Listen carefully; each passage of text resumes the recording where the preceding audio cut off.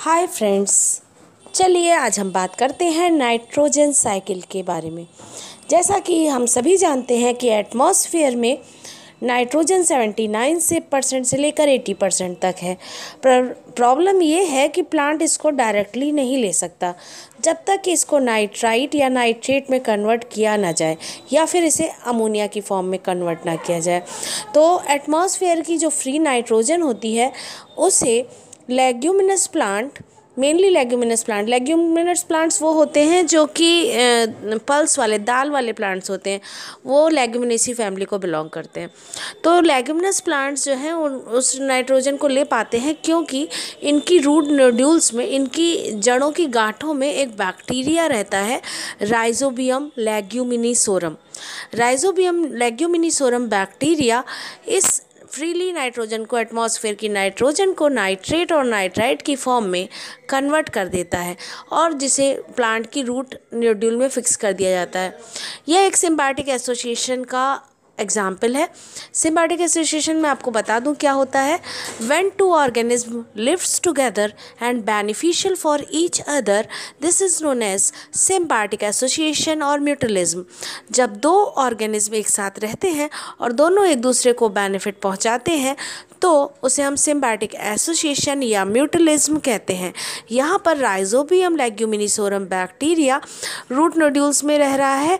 तो प्लांट की root nodules जड़ों की गांठें उसे रहने के लिए स्पेस देती हैं, जगह देती हैं, जबकि बदले में वो नाइट्रोजन को फिक्स करके प्लांट को देता है तो जिससे प्लांट प्रोटीन बना पाता है। तो ये एक सिम्बायोटिक एसोसिएशन का बहुत ही अच्छा एग्ज़ाम्पल है। तो नाइट्रोजन को रूट नोड्यूल्स में राइजोबियम बैक्टीरिया के द्वारा फिक्स किया जाता है और इस प्रोसेस को नाइट्रिफिकेशन कहते हैं। और कभी कभी जो नाइट्रोजन है, उसे अमोनिया की फॉर्म में भी फिक्स करके प्लांट को दिया जाता है। तब ये प्रोसेस अमोनिफिकेशन के नाम से जानी जाती है और बैक्टीरिया को अमोनीफाइंग बैक्टीरिया कहते हैं, जिसका एक बेहतरीन एग्ज़ाम्पल है स्यूडोमोनास। स्यूडोमोनास एक अमोनीफाइंग बैक्टीरिया है। इसी तरीके से नाइट्रोसोमोनास, नाइट्रोबैक्टर एजेटोबैक्टर ये सब भी नाइट्रोजन फिक्सिंग बैक्टीरिया हैं जो नाइट्रिफिकेशन की प्रोसेस में हेल्प करते हैं। कौन से? नाइट्रोमोनास एजेटोबैक्टर नाइट्रोबैक्टर एक्सेट्रा इसमें कुछ फ्री लिविंग है और कुछ जो है वो सॉइल में रहते हैं। तो ये तो हुआ नाइट्रिफिकेशन और अमोनिफिकेशन मगर साथ ही साथ कुछ गलत बैक्टीरिया भी होते हैं, जो बड़ी मुश्किल से नाइट्रेट और नाइट्राइट की फॉर्म में नाइट्रोजन को फिक्स करके दिया गया है प्लांट को। ये गलत बैक्टीरिया डीनाइट्रीफाइंग बैक्टीरिया हम जिनको कहते हैं, इसको फिर से नाइट्रोजन की फॉर्म में ब्रेक कर देते हैं, जो कि अब प्लांट के किसी काम की नहीं रहती, क्योंकि फ्री नाइट्रोजन को प्लांट डायरेक्टली ले नहीं सकता। तो ये गलत काम जो है, इसे कहते हैं डीनाइट्रिफिकेशन नाइट्रेशन और ये जो बैक्टीरिया है, उन्हें डीनाइट्रीफाइंग बैक्टीरिया कहते हैं।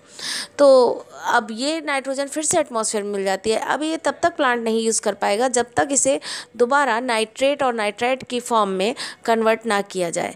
तो इस तरीके से नाइट्रोजन जो है, वो प्लांट को मिल जाती है। और प्लांट उससे प्रोटीन बनाता है और प्लांट जब प्रोटीन उसकी बनाता है तो वो खुद तो इस्तेमाल करता ही है। और बाकी ऑर्गेनिज्म एक्वेटिक ऑर्गेनिज्म और जो टेरेस्ट्रियल ज़मीन पर रहने वाला ऑर्गेनिज्म है, वो ही इसके प्रोटीन को इस्तेमाल करते हैं। जैसे दाल में प्रोटीन होता है, हम लोग लेते हैं तो वो प्रोटीन जो है वो नाइट्रोजन से ही बना है। क्योंकि आपको पता होगा अमीनो एसिड की चेन को प्रोटीन कहते हैं और अमीनो एसिड में अमाइन ग्रुप होता है एन एच जिसमें एन नाइट्रोजन है। तो इस तरीके से प्रोटीन को इस्तेमाल किया जाता है प्लांट के द्वारा और एनिमल के द्वारा। और फिर जब हम लोगों की डेथ हो जाती है, प्लांट की डेथ हो जाती है तो डिकम्पोजिशन होता है। और जो एसिमुलेट यानी इकट्ठा हुई थी नाइट्रोजन, अब प्लांट और एनिमल की बॉडी में वो ब्रेक हो जाती है और फिर से नाइट्रोजन एटमॉस्फेयर में मिल जाती है और फिर उसे बैक्टीरिया द्वारा फिक्स किया जाता है। तो ये साइकिल इस प्रकार चलती रहती है। उम्मीद करती हूँ कि आपको नाइट्रोजन साइकिल समझ में आ गई होगी। और अगर आपको मेरा ये वीडियो पसंद आया है तो please subscribe share and like my channel thanks for watching hi friends